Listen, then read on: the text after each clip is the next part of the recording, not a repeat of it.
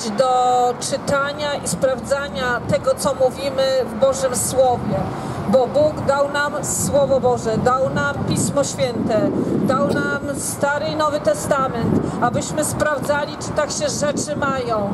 Więc jeżeli nie masz zrozumienia pewnych rzeczy, a nie czytasz Biblii, to będziesz słuchał i będziesz też przyjmował kłamstwa jako prawdę, a jedyną prawdą, jedynym, jedyną drogą i życiem jest Jezus Chrystus.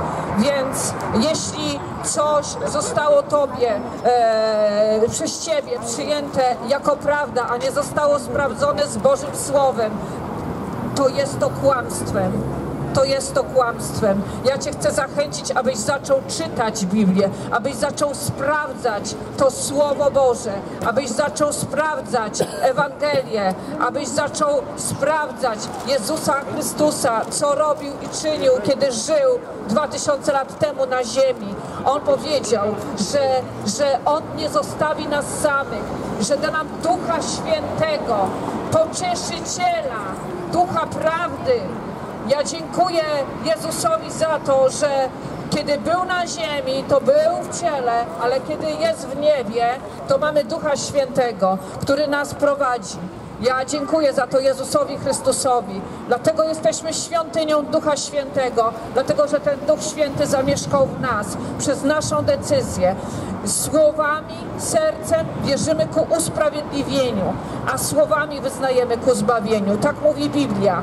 W Rzymian 10:10 otwórz sobie Biblię, przeczytaj list do Rzymian, y, rozdział 10, werset 10, 9-10, który mówi, że albowiem sercem, sercem wierzy się ku usprawiedliwieniu, a ustami wyznaje się ku zbawieniu. Ja swoimi ustami wyznałam, że Jezus Chrystus jest moim Panem i Królem. I dzięki temu, że uwierzyłam w Jezusa Chrystusa, że uwierzyłam w Jego dzieło Golgoty, zbawiona jestem. Zbawiona jestem. Zbawienie jest z łaski za darmo. Za darmo. Jeśli nie masz pewności zbawienia, jeśli nie wiesz, co się dzisiaj z Tobą stanie, stanie z Tobą w ogóle po śmierci, kiedy drżysz przed śmiercią, kiedy drżysz, to chcę Ci powiedzieć, że jak zawołasz do Jezusa Chrystusa i przyjmiesz Go do swojego życia, to jest proste i łatwe tylko zależy od Twojej, aktu Twojej woli,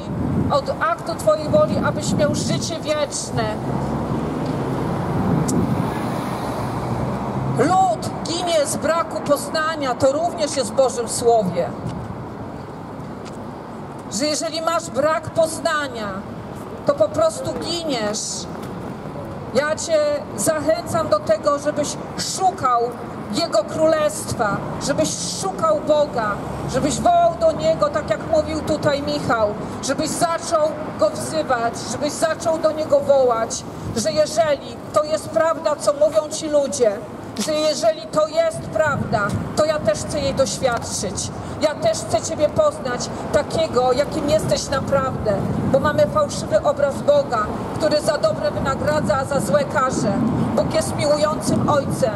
On wszelką karę, która należała się Tobie, ta, ta kara, ona spoczęła na Jezusie Chrystusie, abyś Ty miał już tylko i wyłącznie życie wieczne.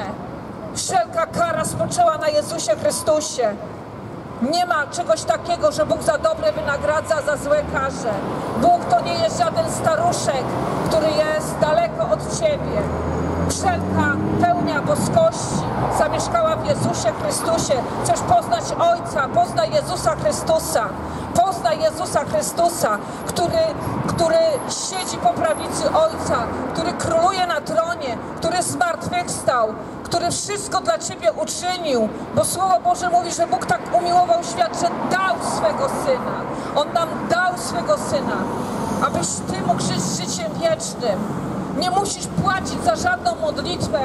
Nie musisz płacić za to, żeby być uzdrowionym. Wystarczy, że przyjdziesz tutaj do nas, a nałożymy nasze święte ręce na Ciebie i Boża moc przepłynie do Twojego ciała, bo tak mówi Boże Słowo, to jest pełna Ewangelia.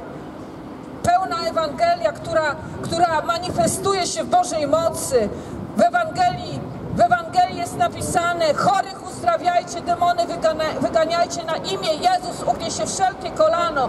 Każda choroba musi się ugiąć na imię Jezus. Każde zniewolenie, każdy demon musi wyjść na imię Jezus.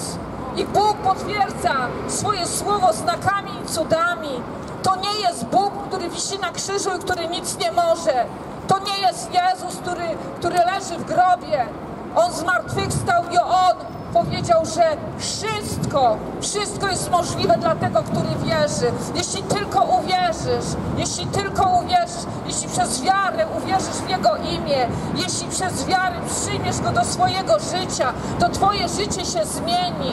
To wyciągnie Cię z depresji, to wyciągnie Cię z wszelkiego lęku i strachu, to Cię wyciągnie z wszelkiego niepowodzenia. Jezus Chrystus ma taką moc, żebyś żył życiem szczęśliwym tutaj na ziemi, że, żebyś, żebyś był uwolniony od każdej, każdej myśli, która, która Ciebie nęka, od każdej opresji, która, która, ciebie, która Ciebie prześladuje, od każdego, y, od każdego nałogu, który, który, który Ciebie trzyma y, w pętach, bo On, kiedy umierał, to krzyknął, wykonało się.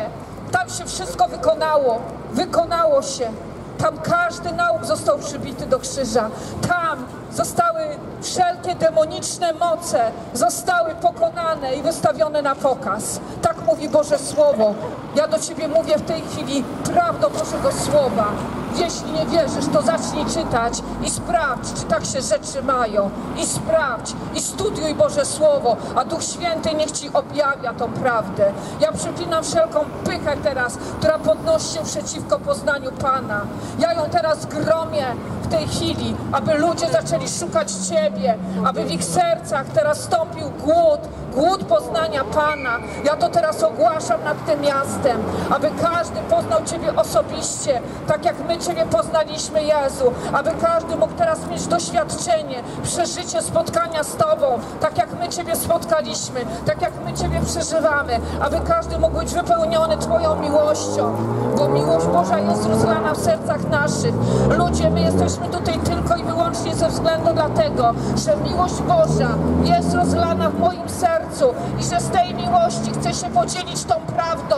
I teraz ta prawda będzie Was pracować, ta prawda teraz będzie Was prześladować, bo ją usłyszeliście i musicie coś z tym zrobić, że macie wolną wolę i że macie jedynie, jedyną drogę do nieba przez krzyż, przez Jezusa Chrystusa.